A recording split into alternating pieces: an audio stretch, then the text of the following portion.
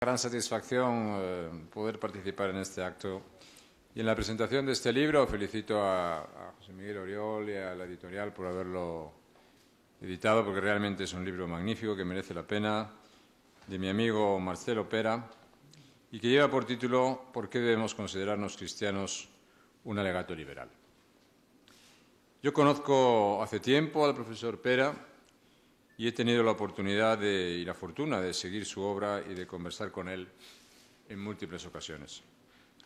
Y cualquiera que conozca su trayectoria sabe que Marcelo Pera es una de las referencias intelectuales esenciales de nuestro tiempo y que sus tesis sobre la crisis moral de Occidente y específicamente de Europa constituyen una de las aportaciones más estimulantes al pensamiento político y social contemporáneo. Nadie debe dejarse engañar por las apariencias.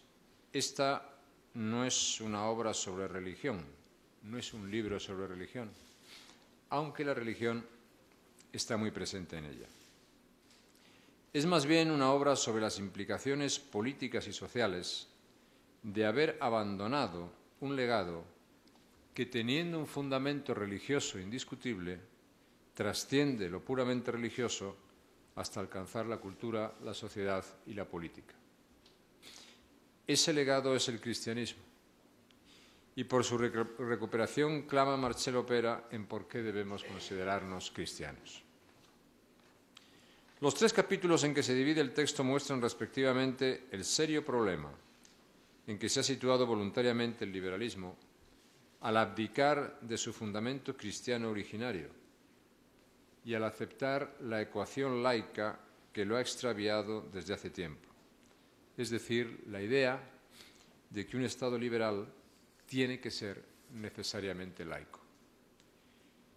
Muestran también cómo es posible comprender e iluminar la grave crisis que atraviesa el proyecto europeo como consecuencia de la pérdida del legado del cristianismo, que es la verdadera alma del proyecto europeo. Y finalmente explica cómo el relativismo, el multiculturalismo y el fracaso de la integración en la inmigración forman una palabra descendente que describe el declive de la ética pública liberal y, como consecuencia, una tendencia acelerada a la descomposición de las sociedades europeas. El liberalismo, Europa y la ética son, pues, los temas que Marcelo Pera aborda desde una base común, y esa base es el cristianismo como sustento prepolítico y como asiento moral de Occidente, que se está perdiendo. Y creo que nos hallamos ante un libro muy importante, si me permiten ustedes la expresión, imprescindible. Un libro único porque nos lleva, por su capacidad, hasta las profundidades de la crisis de Occidente, sin que por ello se pierda la transparencia en la exposición ni se oscurezcan los argumentos. Y también un libro único, porque nos sitúa ante un escenario absolutamente inquietante y al mismo tiempo preserva y anuncia la esperanza de una regeneración posible y necesaria. Yo quiero decir que comparto su diagnóstico y también su esperanzada propuesta. La mía no va a ser la reflexión de un filósofo, cosa que no soy,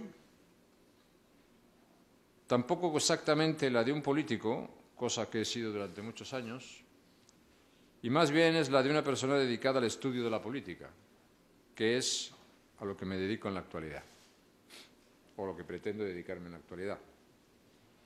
Y lo que pretendo hacer también en los próximos minutos, tomando como referencia el trabajo del profesor Pera, es ofrecer algunas ideas encaminadas a ayudar a que ese punto de partida que él ha establecido pueda producir un efecto político práctico saludable destinado a reorientar el curso de nuestras sociedades, aunque sea con una modesta contribución. Son ideas con las que quiero llamar la atención sobre algunos errores que podríamos cometer fácilmente si perdiéramos de vista algunas cuestiones esenciales. Pues bien, carece para mí de sentido negar que el centro de la historia europea lo ocupa el cristianismo. Carece de sentido, pero se hace. Y alguna razón debe haber para ello. En esa historia europea encontramos también el sustrato cultural que ha hecho posible la deriva que ha tomado forma de relativismo, de multiculturalismo, y que por emplear el